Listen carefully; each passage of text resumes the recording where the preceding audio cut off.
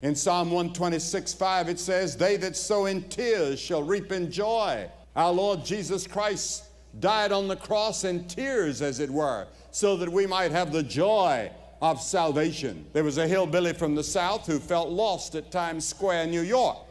So he asked a young fellow with a long beard, how, is the, how do you get to Carnegie Hall? And snapping his fingers, the bearded man replied, Practice, man, practice. And to be a great musician like Pavarotti, you have to practice passionately and perpetually. You reap excellence if you sow effort, but you have to sow in order to reap. Have you been sowing in good deeds?